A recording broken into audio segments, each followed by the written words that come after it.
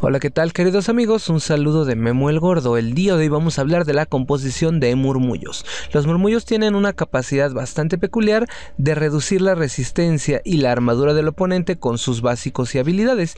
Una vez que un murmullo ataque a una unidad con ulti o básico, va a reducirle su tamaño.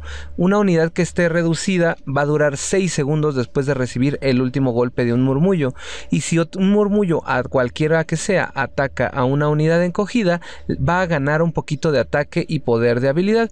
Esto se basa dependiendo de la cantidad de murmullos que tengamos. Esto va a durar, toda esa ronda, bueno, toda esa pelea, pero no, no dura toda la ronda, ni va a durar todo el combate, ni es de manera permanente.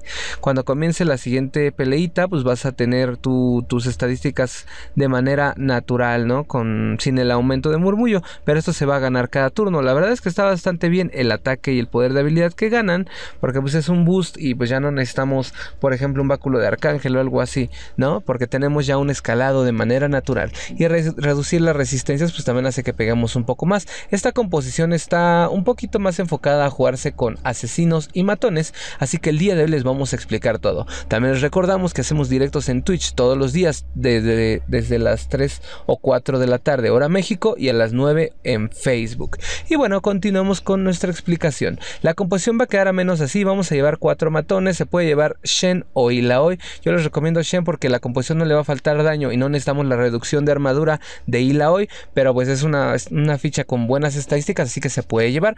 Vamos a llevar a pues tiene una gran cantidad de control y nos va a permitir llevar a Quillana. Quillana lo que va a hacer es darnos Tempestad con Orn y Asesino para el bueno de Pike, el cual pues no vamos a conseguir hasta niveles más avanzados. Sifen es un dragón, él nos va a proporcionar 3 puntos de murmullo.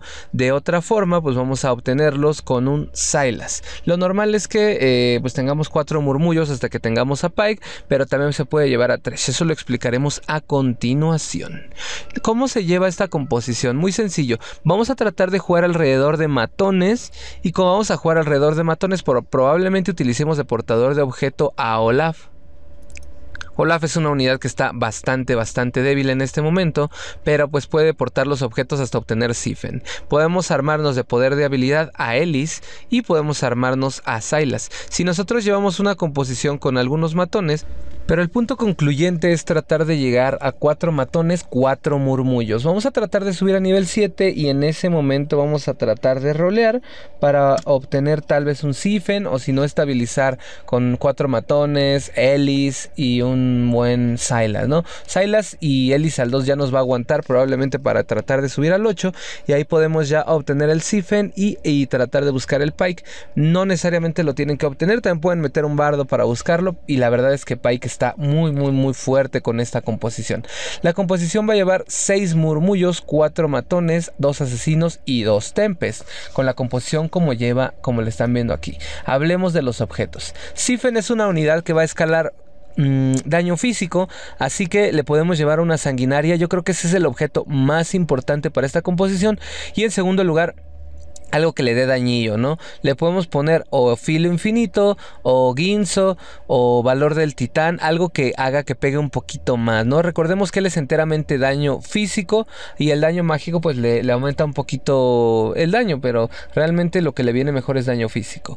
En esta composición podemos llevar capa de fuego solar para uno de los tanques, que en este caso puede ser Silas, y si llegamos a conseguir doble armadura y esas cosas se le, se le ponen a Sifen, en dado caso de que ustedes lo decidan y Sifen ya esté completamente buildeado, pues le podemos poner al bueno de Silas. Hay lo que vendría siendo la Ellis, le vamos a buscar probablemente los mismos objetos que a Sifen, si es que se puede, si no objetos de poder de habilidad, para que escale un poquito más su ulti. Su ulti escala por poder de habilidad, así que pues, le, puede venir bastante, bastante bien.